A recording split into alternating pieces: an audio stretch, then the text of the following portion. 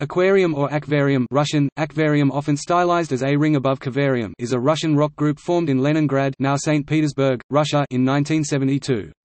The band had many member changes over its 40-year history, and at the end the only remaining original member was lead singer and founder Boris Grebenshchikov. Former band members have included Anatoly Gunitsky, Mikhail Feinstein, Dyusha Romanov, Vsevolod Gakul, and Sergei Kuryokhin.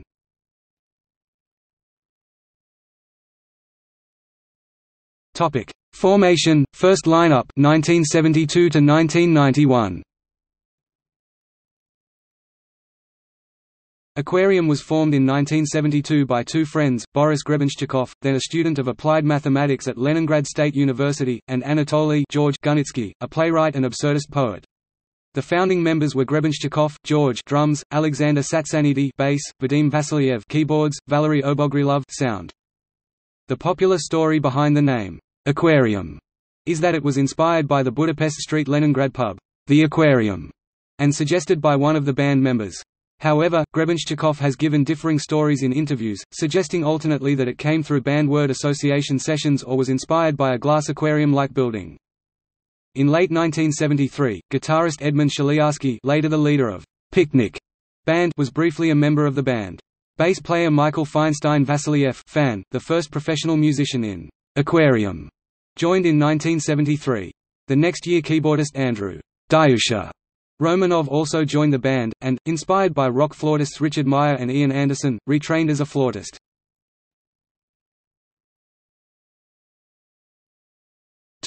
Early concerts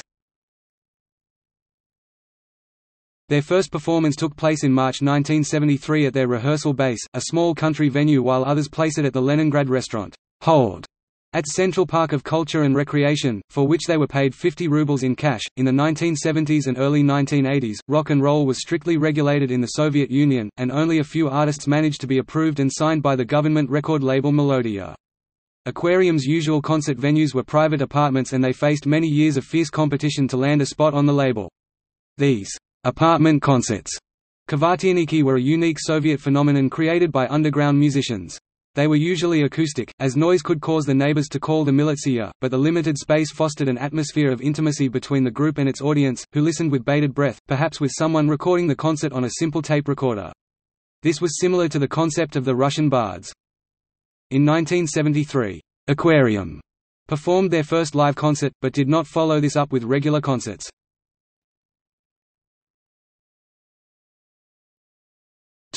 Home recording albums While on vacation in January to February 1974, Grebenshchikov and George recorded their debut album, The Temptation of Saint Aquarium. Iskushini Sviatogo Akvariuma Russian, Iskusini Svatogo Akvarium The band recorded the album with home recording equipment, with variable sound quality results. The Temptation of Saint Aquarium was long thought lost, but in 1997 the record was found and released in 2001 on CD in the book, Prehistoric Aquarium. All masters of this record appear to have been lost. Their second album was called, "'Parables of Count Diffuser' and was written by Grebenshchikov, George Fan and Dyusha Romanov, probably in the spring of 1975.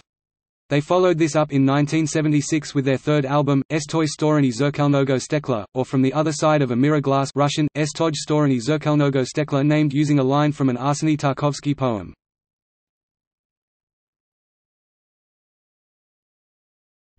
Theatre and regular performances In 1974 the group became heavily involved in amateur theatre, playing pieces of absurdity on the steps of the engineer's castle. However, when the theatre was headed by professional director Eric Goroshevsky, Grebenshchikov became disillusioned with the idea of a fusion of rock, poetry and theatre, and shifted Aquarium's focus to concentrate on musical activities though they only made a complete break from the theatre group in 1977. George left the band, but kept in touch with its members. The following year, cellist Vsevolod Gakul joined the band. Aquarium began to regularly perform live in 1976. Their first concert was on February 25, 1976 jointly with Grebenshchikov, Gakul and Dyusha Romanov. On March 10 Aquarium was a surprise guest at the Tallinn Festival of Popular Music, where they played a set of four acoustic songs and won the prize for the most interesting and varied program. In 1977 Romanov and bassoon player Alexander Faggot Alexandrov Faggot Faggot meaning bassoon in Russian were drafted in the military for two years. With the loss of these members, Grebenshchikov recorded a highly successful solo album All Brothers Are Sisters VSE Bratya, Sestry. Aquarium also became popular to the point that Grebenshchikov was recognized in the street. In 1979 the band met with two important figures of Soviet rock, critic Artemy Troitsky and next year start to work with Andrei Tropillo as a manager in whose studio Aquarium recorded its first historic albums.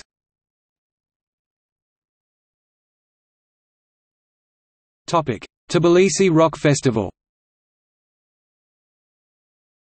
Aquarium burst into the consciousness of the Soviet rock scene by competing at the 1980 Tbilisi Rock Festival. The band caused a scandal with their performance, which was considered bizarre and shocking. During the set, Grebenshchikov lay down on the stage and made provocative movements while playing the guitar, causing all the jury members to demonstratively leave the hall. Aquarium was accused of promoting homosexuality the guitar actions, incest Grebenshchikov changed words while singing the song, Marina, though this may have been through poor technique and indecency, and banned from the festival. The incident became known in Leningrad, and as a result Grebenshchikov lost his job and was expelled from the Komsomol Young Communists League, expected of working Russians. However, while they did not receive any prizes, the band's performance made them become a symbol of the Soviet alternative culture. Until 1987, Aquarium recorded all of their albums in live concerts and in a self-assembled underground studio. Several members had engineering education disguised as a «young technicians club» A notable exception was the album Radio Africa 1983, which was secretly recorded using a government-owned mobile studio, after bribing a technician.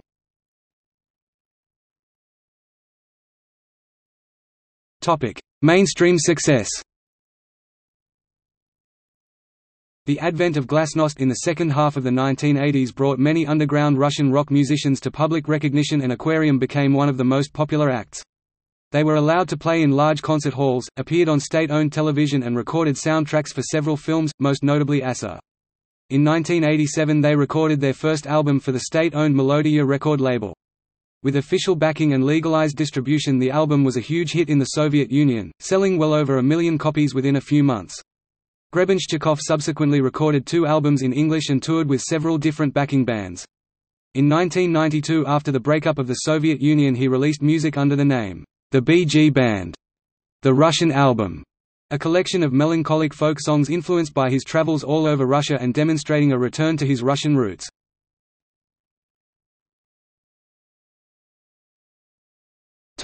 Second lineup 1992 present. Grebenshchikov kept touring and shortly returned to calling his band Aquarium, although the lineup bore little resemblance to the original band. In 1996, Aquarium co-headlined along with DDT band the Vladivostok Music Festival in Vladivostok. At one memorable point, Grebenshchikov famously invited thousands of fans to stream out of their grandstand seats and into the area near the performance stage. The band continued to release more albums and tour extensively over the former Soviet Union, Eastern Europe, and places with Russian-speaking immigrant communities in Germany, Israel and the United States. In 2007, Aquarium performed for the first time at the Royal Albert Hall in London. In 2008 the «Aquarium International» project with participation of over 20 musicians worldwide was created. Their 2008 album Loshad White Horse was released in a similar fashion to Radiohead's 2007 In Rainbows. It was offered for free download in MP3 format with the downloader opting to pay the amount they saw fit, although often criticized for departure from their original style and constant lineup changes, which made the later incarnations of Aquarium essentially a Grebenshchikov solo project. The group still enjoyed considerable success in Russia with regular radio airplay of their old and new songs, popular albums, and frequent tours. Aquarium's lineup in 2017 consisted of Boris Grebenshchikov, Andrei Surotdinov violin, Alexei Zubarev guitars, Alexander Titov bass, Liam Bradley drums, and Brian Finnegan flutes.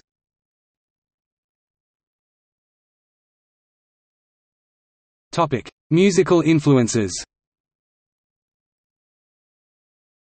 Aquarium was strongly influenced by Western rock music, particularly by the Beatles, Bob Dylan, David Bowie, T-Rex, and progressive rock acts like Jethro Tull, King Crimson and Roxy Music as well as by new wave and reggae artists.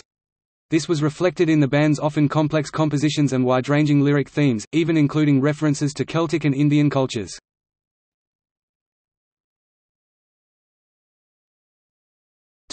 Discography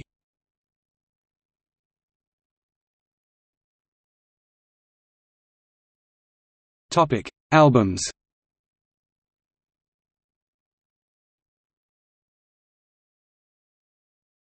Topic: Filmography.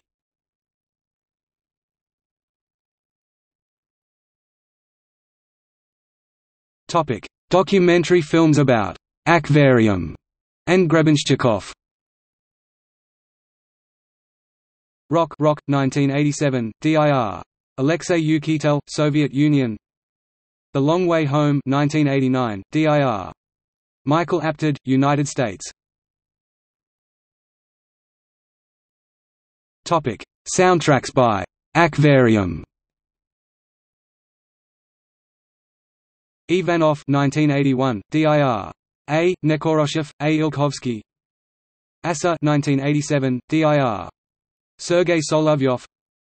Zolotoy Sun Golden Dream 1989 DIR Sergei Debizhev Chernaya Rosa Emblema Pechali Krasnaya Rosa Emblema Lyubvi The Black Rose 1989 DIR Sergei Solovyov DVA Kapitana 2 Two Captains 2, 1992 DIR.